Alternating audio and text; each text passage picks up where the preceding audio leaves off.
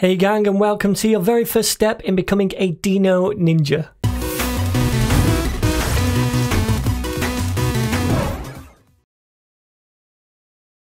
Okay then, so no doubt you've already been swept away in the current whirlwind of hype about the new kid on the block, Deno, which is quite quickly being touted as a complete replacement to Node, and that now Node is dead. Now that's not true, Node is going to be around for a long, long time, but Deno does look promising and fun to work with, and to be honest, anything which uses a dinosaur in its logo has my immediate attention.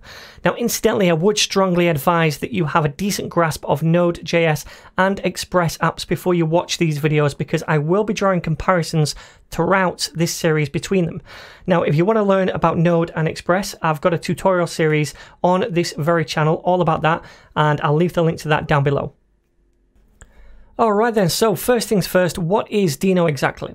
Well, Deno is a JavaScript and TypeScript runtime, and it uses the same V8 engine as Node does under the hood, which allows us to run JavaScript on a computer.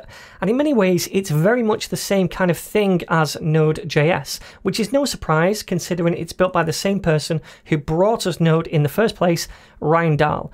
And the reason behind creating this new alternative to Node was that he regretted some of the things that he did with Node and felt that he could improve on them. And that's probably a sentiment shared with most developers at some point in their career. So we're still going to be using Deno to do all of the same kind of things we currently use Node to do, but there are some noticeable differences and what seem to be possible improvements to it. So in this video, I just want to outline a few of the main ones. So first of all, it works with TypeScript out of the box. There is a compiler built into Deno, and there's no need for any further setup or tooling.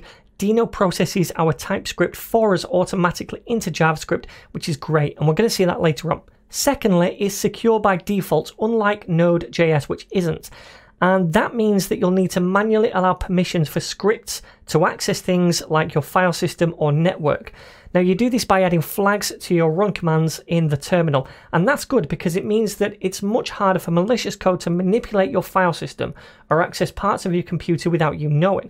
Again, Node isn't secure by default, so you didn't need to do this when you used Node. It also uses the more modern ES6 module standard for importing and exporting rather than the older CommonJS one, something that's also actually recently been added to Node as well, but only very recently, and Deno is using this from the offset. It also utilizes current web standards, and that means that you get access to a lot of web APIs out of the box, such as the Fetch API, and that means you also don't have to rely on third party packages to implement those features in your app. And that's good news for front end devs because it means more code can be shared between the front and the back. Now, in addition, it brings to the table an official standard library, which is just a bunch of commonly used modules or packages, and they're maintained by Deno themselves and not third parties, which could at some point bin the module or package at any time. So these modules are guaranteed to work with Deno and they're going to be actively maintained by the Deno team, so we can steadfastly rely on them. Now, speaking of packages, they are not installed via npm and we don't use a package.json file either. In Deno, package management is decentralized, meaning that we can install packages which are hosted anywhere on the web. And the way we do that is just by using import statements in our code, which we'll see later on. That downloads them onto our computer and it caches them so that it's not re-downloaded every time we run the script, but it doesn't bundle them up into a node modules folder either. So that's the gist of what Deno is bringing to the table at the moment, but it's still in its very early days and it is likely to change over the coming weeks, months, and years. Likewise, the ecosystem built around Deno is developing too, so there's likely to be some bugs, problems, and hiccups along the way. And some of the modules in Deno are still marked as unstable, meaning they could change. And for these reasons, I would probably not recommend ditching Node anytime soon. It already has a vast community and support network around it, and it's going to be around for a long, long time, in my opinion. So I guess don't think of Deno as a shiny new replacement for Node. Think of it as a younger brother or sister to Node, which could potentially grow into a more rounded person. But I guess time will tell. So, anyway, in this series, I'm not going to be going too deeply into Deno or trying to put together some complete Deno course because I think it's a little early to be doing that. but I will get you up and running. I'm going to showcase some of the main differences to Node and even build a little Deno API at the end. Now in this course, I'm going to be using TypeScript along the way instead of JavaScript since Deno can handle that. Now you don't have to do that, you can use JavaScript instead. The code is going to be quite similar, but if you want to learn TypeScript first, feel free to check out my TypeScript tutorial series on this channel. The link is going to be down below. And like I said earlier, you should also have at least a basic understanding of Node.js and Express first of all, because I am going to be comparing Deno to Node as we go forward.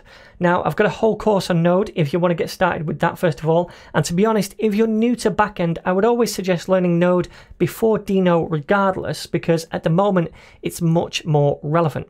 And finally, I'm going to be using VS Code to work with in this series, which you can find at vscode.com and download it there if you want to follow along exactly as I do. I've also created course files for every single lesson in this tutorial series, and you can find those at this GitHub repo right here, Deno Jumpstart. So that link is going to be right down below. And I've created a different branch for every lesson because obviously every lesson has different code. So if you want to see the code for a particular lesson, for example, lesson four, you'd select the lesson four branch and you're going to see all the code right here. Okay then, so now let's install Deno on our computer and see how to use it. So if we just scroll down the homepage, we're going to see the installation instructions right here. And there's a different command to run dependent on whether you're using Windows, Linux or Mac. I'm on Windows recording this, so I'm going to use Chocolatey to install Deno. Now, Chocolatey is basically a package manager for Windows. And if you don't have it and you're on Windows, I would recommend downloading it. Now you can check out the installation instructions right here. I'm going to leave this link down below, dead simple. So anyway, I'm going to grab this thing right here, which says Choco install Deno, and I'm going to open up CMD and run it as administrator and I'm going to paste in that command. You press enter now to install this. Now it's not going to reinstall it for me. I already have it installed. So it's going to install it for you and then you can use the deno command right here and press enter. And that is going to start up the deno REPL where we can directly write JavaScript code right here. And by the way, a REPL is just an interactive programming environment like this. It takes a user input, it reads and evaluates that, and then it returns a result to us. So, for example, I could write const name is equal to Mario and press enter. Then, if I try to get that name, it's going to give me the value of Mario. Likewise, I could do sums like 5 plus 10, and that is 15. So, now Deno is installed, but we don't always want to write our code directly in a terminal like this. So now let's have a look at how we can create JavaScript or TypeScript files and run those directly through Deno. So then my friends, I've opened up Visual Studio Code inside this directory, Deno Jumpstart, and I'm going to create a new file first of all called test.js. So we'll create a JavaScript file and run that through Deno first of all, then I'll show you the same thing with a TypeScript file.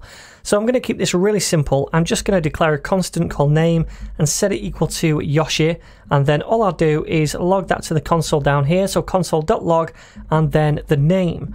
All right, so now I want to run this file through Deno. How do I do that? Dead simple. Down in the terminal, I'm going to say Deno and make sure you're in the correct directory where the file is. So Deno and then run and then the file name. So in this case, test.js.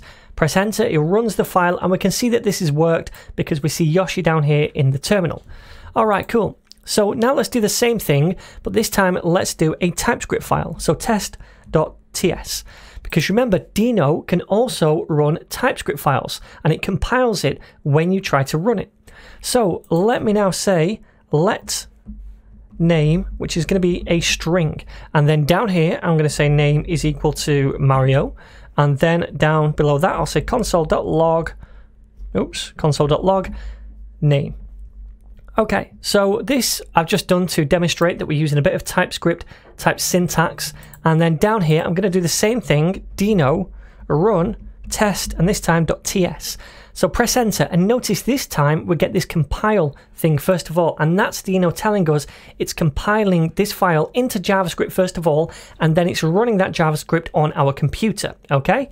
So again, we see the result right here, Mario. Now, as well as running local files on our computer, we can also run files which are out there on the internet somewhere. So, for example, if we bring across the Deno homepage, if you scroll down a bit, you're going to see this Getting Started guide, and you can see right here it says Deno run and then this file right here, and it's hosted on the web.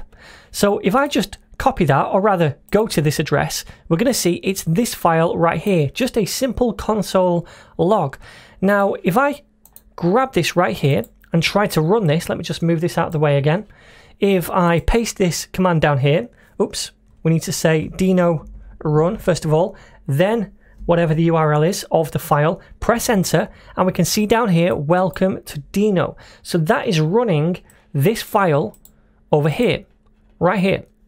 Okay, so we can do that in Deno. We can run files from the web.